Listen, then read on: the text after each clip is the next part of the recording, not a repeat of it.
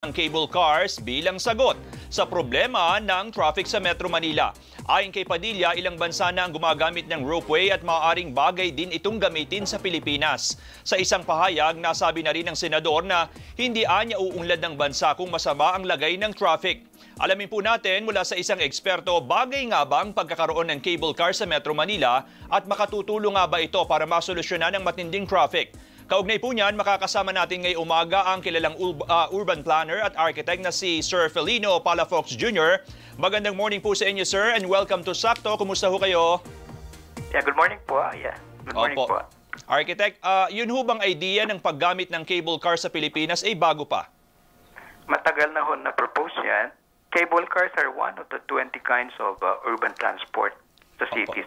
Of course, we started walking, biking, uh, jeepneys, buses, uh, monorails, uh, cable car, light rail transit, heavy rail transit, water transport, and Opo. so on. Kinatama ho, ginagamit na ho sa more progressive countries and Opo. cities po yan. Opo, pero ang tanong siguro, architect, eh, yung bang paggamit ng cable car sa Pilipinas, eh, akma ho ba sa atin? Pwede ho ba ah, gawin yan at magiging solusyon nga ba sa matinding traffic?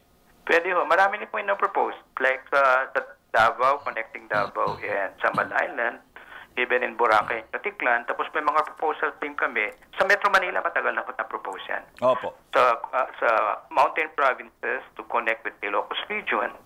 Kasi our country, may mga communities tayo rin sa mga ah, mountainous area. So we plan from ridge to ridge, from the highland, midlands, lowlands, and the coastline.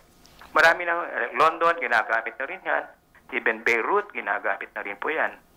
Opo. Architect, ah, sabi nga ho ninyo, hindi naman nabago yung idea na panggamit ng cable cars at matagal lang na-propose yan. Bakit hindi Matagal po. umuusad?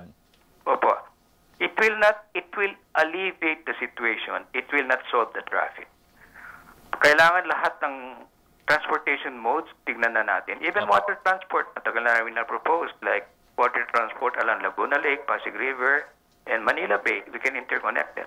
Opo, opo. Yun hong sa cable cars, architect, ah, ika nga niyo, matagal lang panukala, bakit hindi ho umuusad? Ah, what can I say? Analysis paralysis, lack of continuity. We need strong political will, visionary leadership, a good appreciation of good urban planning, design like architecture and engineering. Yung pong medyo kulang sa atin po na meron sa ibang bayan po.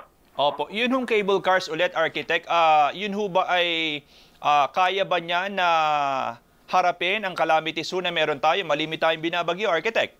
Opo, pati sa mga mga winter ng Switzerland, ginagamit nila. At saka akala siguro nila cable cars pang dalawang tao lang. Capacity pwedeng isang jeepney, 10 to 12 persons. Mm. Matis, pwede ma-design na yan. Sa maraming countries nagpo-produce na yan. Like, interesado noon ang France, yung proposal ng DOTR noon. Opo. Uh, tapos meron din mga sa Japan, Korea, they have all of the European cities. Available na po yan. Oo, kasi ang parang naging ah, idea ng aling mga kababayan doon sa panukalang cable cars ay yung bang parang mala Hong Kong na pangturista, ah, pangturista Yeah. na Sa- apat, sa- limang sakay. Oo, hindi ho. Like sa London, along the Thames River, meron din silang cable car. Nangyayari, mas maraming turistang gumagamit kaysa commuters. Oo. Opo. Ar- Tapos sa Singapore, meron din sila. Singapore Sentosa Island. Architect, dun ho sa panukala, dun sa mga naunang suggestion po ng paggamit ng cable cars, saan siya ikakabit? Saan siya gagawin? Saan siya posible? Yeah. Ang proposals ko noon, the eastern part of Metro Manila or Manteneos. Kasi mga empleyado, say, ng Makati Central Business District, Fort Bonifacio, Ortigas, marami nakatira sa Antipolo, Sierra Madre Mountains kasi mas mura ang lupa doon. Mm. Kasi sa mga uh, job centers natin like the Central Business Districts, na-price out ang mga empleyado. Kasi ma- ah, ma- mahal ang lupain sa Makati, sa Fort Bonifacio, sa Ortigas. Kaya surrounded by low density, expensive, uh, um, gated communities. Opo. Opo. Pero architect, syempre ho, malak- malaki sigurong gastos na kakailanganin para makapag-operate tayo ng cable cars.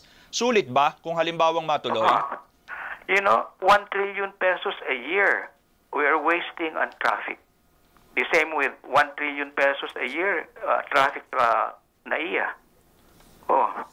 Kaya lahat po dapat ng ano tignan na. Like yung subway, na-propose yan 1971 pa. Naku po. Light rail transit, kami nag-propose niya sa World Bank funded uh, Metro Plan Manila. I was the team leader.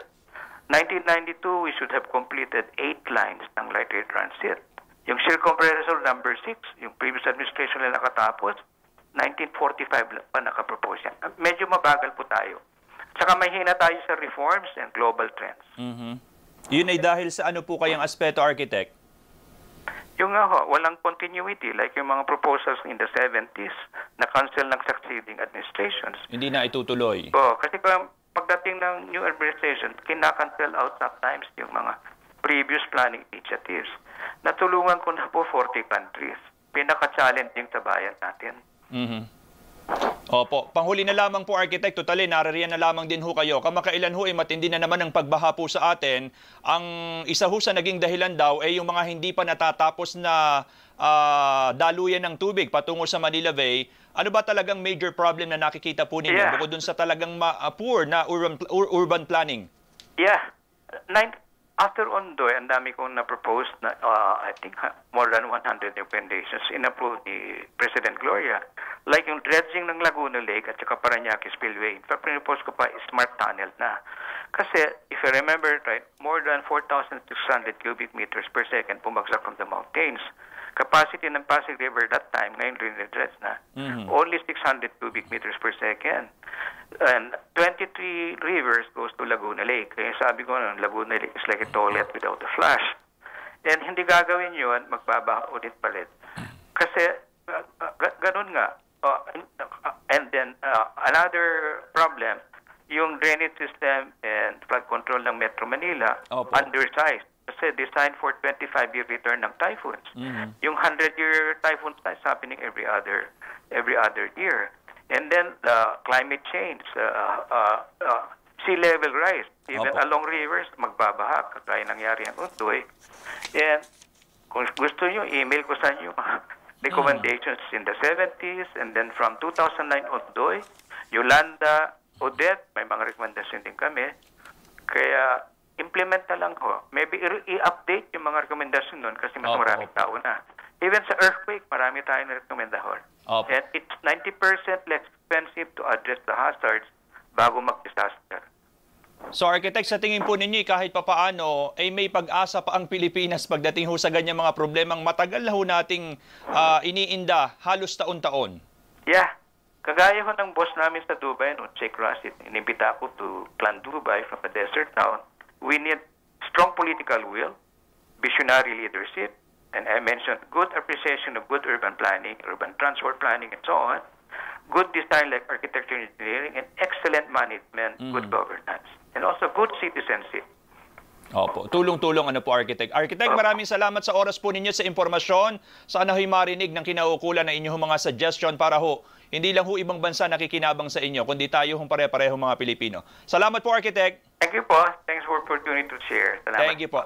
Si Architect Filino June Palafox Jr. Salamat po.